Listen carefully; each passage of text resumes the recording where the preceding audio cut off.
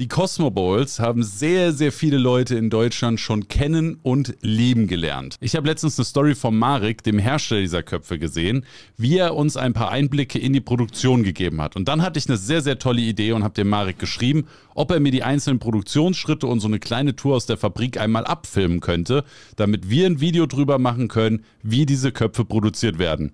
Und dann hat der Marek gesagt, habe ich schon.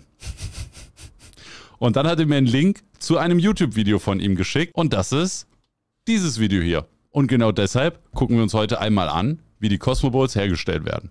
Das Video ist leider auf Russisch, das heißt, so viel verstehen werden wir nicht, aber wir können uns ja trotzdem einfach mal die einzelnen Produktionsschritte angucken.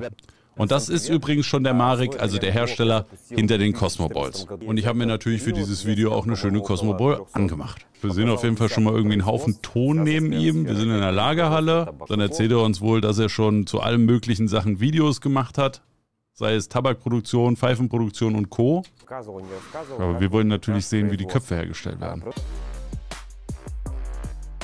Okay, kleines Intro, wo wir schon mal ein paar Sneak Peeks bekommen. Es sah tatsächlich nach verblüffend viel Handarbeit aus von dem, was ich schon so gesehen habe bei den Cosmo Balls. Alter. Okay, wir sehen einen Haufen Cosmo Balls in verschiedenen Farben.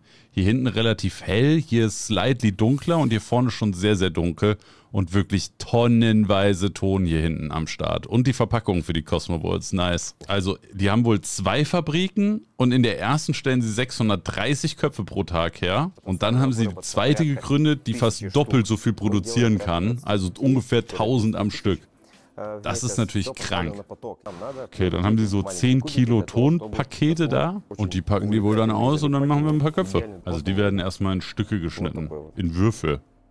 Wild. So ein Würfel war einmal diese Cosmobol hier. Wild. 10 Tonnen Lehm jeden Tag. Klingt sehr, sehr viel, oder? Okay. Dann haben die da so eine Presse, da packst du einfach so einen Würfel rein und die Presse drückt dir dann praktisch eine Wurst raus, damit du es schon mal in der runden Form hast. Da unten sehen wir jetzt, wie die Tonwurst da rausgedrückt wird. Also scheint zu helfen, aber es ist wohl trotzdem ziemlich anstrengend.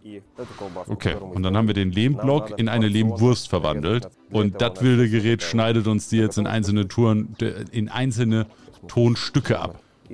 Und dann haben wir aus unserem Lehmblock, also aus unserem Tonblock, einzelne Rohlinge für den Kopf gemacht.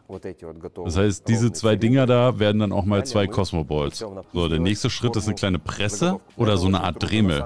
Das heißt, der Kopf wird aufgespannt, kriegt schon mal so grob die Form. Also wir sehen oben das Gegenstück, das sieht schon mal nach dem Depot aus. Ah, okay, es wird komplett reingepresst. Okay, also ist doch eine Presse, die sich dreht, um den Tonrohling schon mal so grob in die Form von einem Kopf zu bringen. Aber da ist natürlich noch ein bisschen viel dran und das sieht noch nicht so richtig nach einer Cosmo Bowl aus. So, die Form stimmt natürlich noch nicht ganz, wir haben noch keine Löcher im Depot und so weiter. Also das muss noch irgendwie reinkommen. Und von dem Schritt war ich irgendwie mit am meisten überrascht. So, jetzt haben wir den nächsten Schritt, von dem ich eben gesprochen habe. Da wird jetzt der neue Rohling eingespannt und dann kann er in Form gebracht werden, zumindest von außen.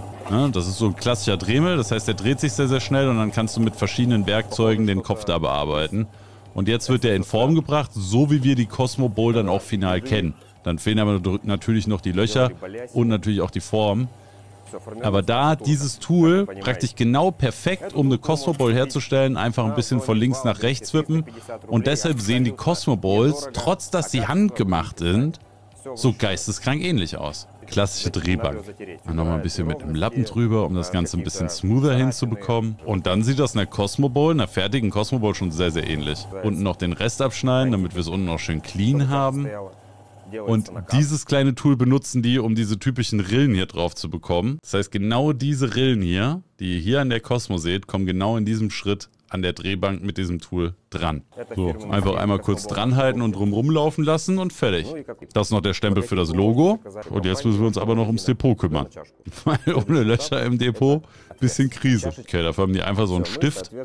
Den können die ansetzen und dann einmal durchdrücken. Und wir haben eben schon gesehen, der ist innen hohl. Und genau da sitzt jetzt nämlich der Ton drinne und den kann er dann rausdrücken. Na, ansonsten würdest du ja die ganze Masse nur verschieben. Aber der schneidet sozusagen rein mit einem Hohlraum und so kannst du dann die Löcher rein reinmachen. Aber ich finde das faszinierend oder ich hätte es irgendwie nicht erwartet, dass so viel bei der Cosmo Bowl Handmade ist. Vor allem, wenn man sich überlegt, dass diese Köpfe regulär nur 15 Euro kosten.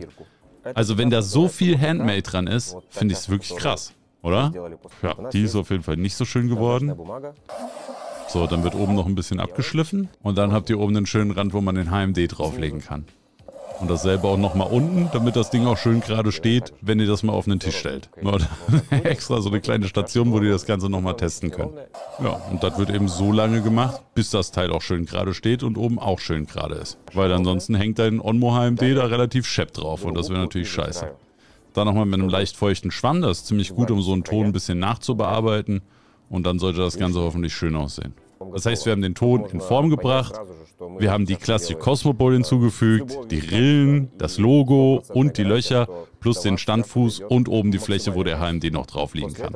Dann gibt es einen Trockenraum, wo die erstmal ein bisschen ruhen können, bevor sie gebrannt werden. Für Montera machen die auch die Köpfe, Mantera. Und da habe ich letztens auch eingeraucht, der hat auch ein sehr geiles Depot. Ist so eine Zwischenstufe zwischen normaler Cosmo Türkisch und nochmal einer Shot. Aber allein diese Masse an Köpfen da stehen zu sehen, finde ich schon geisteskrank nice. So, aber ich hoffe, wir sehen auch genau das Brennen gleich noch als nächstes. Da sind wir zum Beispiel die limitierte Weihnachtsedition, die hier noch mit rumsteht. Okay, jetzt kommen wir zum Brennen. Ich bin gespannt, ob er Zeit, also Dauer, die der Kopf da drinnen verbringen muss, und Hitze erwähnt oder ob er das so betriebsgeheimnismäßig uns jetzt ein bisschen verheimlicht. Das ist ein Ofen, wie viele Köpfe sind da drin? Drei, sechs, neun, zehn mal vier. 40 Köpfe auf einmal, beziehungsweise sind das, glaube ich, sogar zwei tief, also 80 Köpfe auf einmal. Maybe aber sogar noch tiefer. Erstmal gucken, ob die noch gottlos heiß sind. Und so sieht er dann gebrannt aus. Wird auf jeden Fall durch das Brennen nochmal deutlich dunkler. Und wenn man jetzt zum Beispiel einen Kopf hätte, der noch eine Glasur hat, dann würde man erst einmal vorbrennen, dann wird er nochmal getunkt und dann wird er nochmal gebrannt, nur damit die Glasur aushärten kann. So, und das war es auch schon von der Produktion. Danach kommt er noch in diese typischen Trinkbecher, die man von Cosmo kennt. Köpfchen rein und dann ab in den großen Karton und dann ab zu uns nach Hause. Und so werden Cosmobots hergestellt. Wild. Ich hätte nicht gedacht, dass es so viel Handarbeit ist, aber umso mehr weiß ich meine Cosmobots zu schätzen.